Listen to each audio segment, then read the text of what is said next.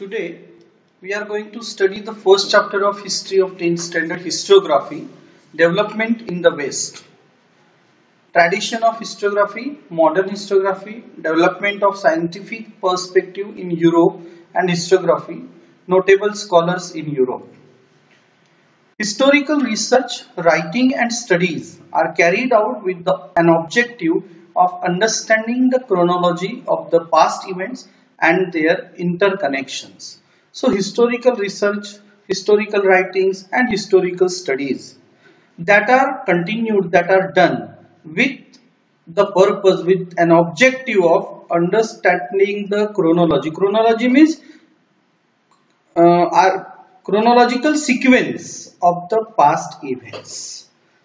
Past events का chronological sequence we can understand by the study of historical research, historical writing and historical studies and their interconnections. Means uh, historical research or historical writing or historical studies are carried out with the purpose of understanding the chronological sequence of the past events. Past event का chronological sequence कैसा है what is the inter what are the interconnections amongst them उनके बीच के interconnections कैसे how they are linked to uh, to each other and this process of study this process of study historical research or historical writing is a continuous process it does not stop it is a continuous process in the physical and natural science the empirical method laboratory method of experiments and observation is used to verify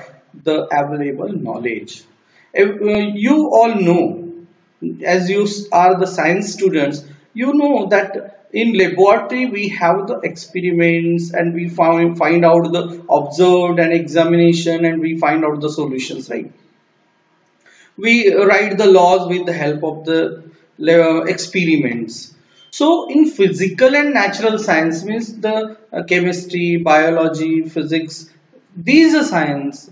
In physical science and natural science, we use the empirical method. What is the name of the method? Empirical method. What is it? Laboratory method that of experiments and observation. This method is used to verify the available knowledge whatever the knowledge is available वो knowledge available है, उसको verify करने के लिए scrutinise करने के लिए this empirical method is use this method allows formulating law with the help of empirical method we can formulate the laws and these laws remain true irrespective of time and space means it does not have the foundation of the time or the space. They remain true. They remain true. The laws that are formulated with the help of the empirical method, they remain true either uh, in respective of, irrespective of the time and space. Means bina time, koi, kisi at any time, anywhere, any time or anywhere. If these formulas are tested, which are created which laws are created with the help of the empirical method, they are true. Those laws can be tested and proved repeatedly. The, these laws which are created with the help of the empirical method, they can be tested and proved repeatedly. बार बार हम इनको test कर सकते हैं बार बार हम इसको प्रूव भी कर सकते हैं So in historical research, it may not be possible to use the method laboratory experiments and observation. But in historical research, the empirical method may not be possible to use. Means this empirical method, the method of laboratory experiments observation is useless in the historical research. Why? Why it is useless for historical research? Then this is so because we are not present in the historical time and space. Because we were not when any incident took place in the past we were not present at that time and that space to watch to observe and examine the event. Right? Is that right? So we were not present at that time that's why or space that's why we we cannot observe that and the historical events cannot be recreated okay as uh, experiments can be repeated experiments can be repeated हम उनको repeat कर सकते हैं but historical events cannot be recreated not repeated उनको हम repeat नहीं कर सकते हैं also in history it is not possible to formulate laws in history law also cannot be formulated as is uh, natural science or physical science we can create the laws but in history we cannot create the laws we cannot formulate the laws and these laws that remain true irrespective of time and space such laws we cannot create in history that remain true irrespective of time and space means uh, कोई भी time कोई भी जगह हो, वहाँ पर वो laws हमेशा ट्रू होते हैं, ऐसे लॉज हम हिस्ट्री में नहीं बना सकते। Then how to study history then how to do the historical research so to begin the historical research और हिस्टोरिकल राइटिंग और historical study we need an expert हमको एक्सपर्ट की ज़रूरत होती है। Who knows the language and script of the historical document means the language and the scripts, ancient language and the ancient scripts of the historical document should be known by the expert. Such experts we want so that we can read and understand the meaning of those languages and scripts. so, ताकि हम उन scripts के उन languages को हम पढ़ सके और उनका हम मीनिंग समझ सके ऐसे एक्सपर्ट की ज़रूरत होती है then we can study or do the historical research. Also, the experts can examine the authenticity of the document. These experts can check the can examine the authenticity of the document, reality of the document. Is it real or fake? It can be testified, it can be examined by the experts by using the criteria such as lettering style of the era of the period, author's style of writing, how what was the style of the author, manufacturing date of that uh, document uh, using the carbon dating method and type of paper and stamps of authority, king or dynastic, whatever the authority would be there during that uh, documents, the means the uh, document would be the uh, from that uh, period of the uh, king or the dynastic ruler. So that stamp authority. With these criteria, by using these criteria, the expert can examine the authenticity of the document. So we need an expert. We need an expert. Why do we need the expert? So that we can read and understand the languages and the scripts of the documents as well as can examine the authenticity authenticity of the document by using the criteria with the help of the experts. So we need the experts for that. Such documents is further scrutinized by a historian with the help of the relevant, relevant historical references and afterward such documents are examined, critically examined by the historian for the study of or the research with the help of available knowledge, available historical references. इनकी help से historian इन documents को scrutinise करता है critically examine करता है so that he could continue his historical research or historical writing or studies. So some methods have been given here for the historical research. These methods, this wave chart is given here. So some historical research methods are there examining relevant references of the available historical information. Whatever the historical information is available uh, regarding that historical information whatever the references are historical references are there examining those related references.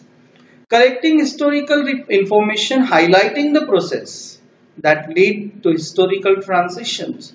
Historical information collect करना collecting historical information that highlight the process to lead the historical transaction means highlighting the process that lead the historical transaction mean historical transaction जिस process से होती है, उन चीज़, उसके बारे में इंफॉर्मेशन हिस्टोरिकल इंफॉर्मेशन कलेक्ट करना carrying out comparative analysis and after after fi finding out the historical transitions the process understanding the pro process of the historical transitions carrying out comparative analysis. Uska comparative analysis then another method for the historical research or narrative writing narratives understanding the references regarding time and space of the given historical event. Whatever the given historical event is over there so understand the references regarding the time and space of that historical event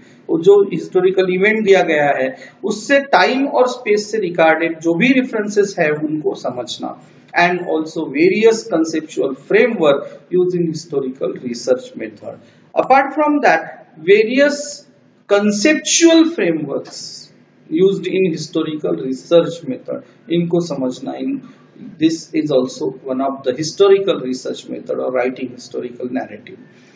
Then another formulating relative questions in view of historical reference. When we study the historical reference we uh, examine the historical reference we have to create the relevant questions उससे related questions formulate करना formulate करना create करना formulating hypothesis hypothesis formulate करना then critically examining the of various source of history and uh, various sources of history oral written or uh, whatever material sources we have to examine them critically so these are the historical research um, research methods for writing the historical narratives Method of various disciplines are also useful in historical research. If we are doing the historical research, uh, we, methods of different disciplines are there like archaeology, archaeological science, uh, archival science, manuscriptology, epigraphy, study of inscriptions, analysis of lettering style, linguistics, numismatic study of coins genealogy study of lineage such type of disciplines are there and whatever the uh, whatever the uh, methods are used to study these uh, disciplines all these uh, methods are also used in the historical research. Now we are going first 1.1 tradition of historiography. How the what was the tradition of the historiography? How would be how would uh, how would be the historiography written? So we have to understand this first. We have learned about the historiographical research method critically examining the historical sources and writing the historical narrative. So we have learned what we have learned? Historical research methods. And critically examining the historical sources whatever the sources are there historical sources we have to critically examine them research methods के बारे में हमने सीखा critical examining historical sources के बारे में हमने सीखा राइटिंग द हिस्टोरिकल नैरेटिव्स और हिस्टोरिकल नैरेटिव्स लिखना The writing of critical historical narratives is known as historiography. This is the definition of the historiography. What is historiography? The writing of critical historical narratives. Okay, writing of critical historical narrative is known as historiography. इसी को बोलते हैं historiography means writing history that is critically but but it is critically writing history is known as the historiography a scholar who writes such a narrative is known as a historian और ऐसा scholar जो ऐसे narrative critical historical narrative लिखते हैं they are known as historian the historian cannot include every past event in his narrative if uh, one historian historian has been taken as an example he cannot include every past event in his narrative वो अपने narrative में पूरे के पूरे past event include नहीं कर सकता he cannot include all of the past events in his narratives then the inclusion and interpretation of historical events by the historian often depends on the conceptual framework adopted by him. Means what conceptual framework he has adopted, what in which framework he wants to work, on which uh, past events he has focused. this what he writes in his narrative it depends on his conceptual framework style of writing is determined by that conceptual framework. And in this way his style of writing is also determined by that conceptual framework. What kind of concept he has chosen to write the historical narrative? Okay? That determines his conceptual means style of writing also. So historian सारी past के events अपने narrative में include नहीं कर सकता है। So inclusion of and interpretation of historical events जो भी हिस्टोरिकल इवेंट्स इंटरप्रिट कर रहा है एक्सप्लेन कर रहा है, या इंक्लूड कर रहा है in the historian depends on the conceptual framework adopted by him historian जो कंसेप्चुअल फ्रेमवर्क अपने आप के लिए अडॉप्ट करता है राइटिंग के लिए अडॉप्ट करता है अकॉर्डिंग टू उसी के हिसाब से ही interprets the historical events interpret he includes the historical events in his narrative अपने नैरेटिव में वही हिस्टोरिकल इवेंट्स वो इंक्लूड करता है और उन्हीं को एक्सप्लेन करता है। In this way this conceptual framework determines his style of writing also उसके स्टाइल ऑफ़ राइटिंग को उसका ये कंसेप्चुअल फ्रेमवर्क ही डिसाइड करता है the tradition of writing historical narrative that is historiography So another one line is over here. What is historiography? The tradition of writing historical narrative, that is historiography, was not prevalent in ancient societies of the world. What does it mean? Means in ancient society, the people did not used to write history. They they did not write the history there was not a tradition of writing history historical narratives there was not a tradition of historiography however in the ancient societies there was not a style of writing history history लिखने की style नहीं थी it was not prevalent exist नहीं थी however that does not mean that they were not aware of historical time or were not eager to know about it इसका मतलब ये नहीं है कि वो हिस्टोरिकल टाइम के बारे में अवेयर नहीं थे या उन्हें उसके बारे में एक्साइटमेंट नहीं था. They were not eager to know about their history they did not have any awareness about the historical they it does not mean that they did not there was not a tradition of writing historical narrative that does not mean that they were unaware about the historical times and when they did not have any kind of excitement or curiosity. In spite of that, ancient people also felt the need of passing on the stories of, of the life and valor of the ancestors to the next generation. Ancient people also felt ancient people को भी लगता था the need of passing the stories of the life and values of the ancestors to the next generation कि next generation को उनके ancestors की life stories braveries की stories वो नेक्स्ट जनरेशन में पास ऑन होनी चाहिए, जानी चाहिए, इसकी ज़रूरत एंशियन पीपल को भी होती थी। Means ancient people also felt that the story life stories and the value stories of the ancestors should be should pass on to the next generation.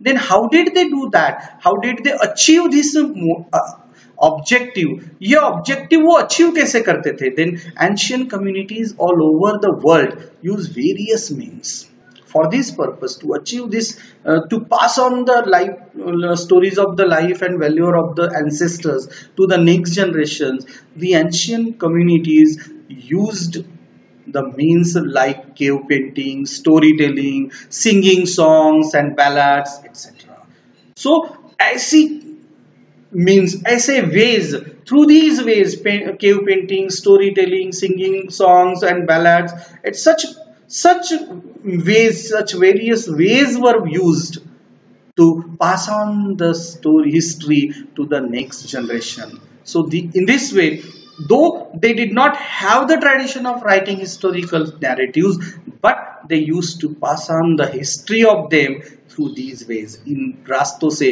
वो अपनी history next generation को pass on करते थे. These traditional means are looked upon as the source of history in the modern historiography. And today, in the modern historiography, these traditional means of cave painting, storytelling, singing songs and ballads, etc. These are looked as the sources of history in the modern historiography. Modern historiography में आज इनको हम historical resources मानते हैं sources मानते हैं 1.2 modern historiography how is the modern historiography four main characteristics of modern historiography there are four main characteristics of the modern historiography okay so the first one is its method is based on scientific principles. It begins with the information relevant of questions. So, modern four characteristics of the modern historiography.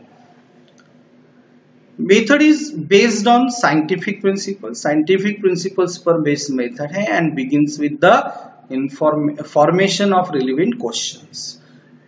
Related questions of the available historical information about the historical information relevant questions are formed second these questions are anthropocentric how should be how are these questions anthropocentric means these questions are about the deeds of the members of ancient human societies of a particular period means particular period ke members and member of the ancient human society society human societies ke ancient ancient human societies के members के deeds के बारे में ये questions हुआ करते थे history does not suggest any interrelation between the divine and human deeds one is the thing is to remember that history does not history कभी सजेस्ट नहीं करता है any interrelation between divine and human deeds human deeds और divine भगवान और मानवीय कृत्य के बीच में कोई रिलेशन है इंटर रिलेशन है डिवाइन और ह्यूमन डीड्स के बारे में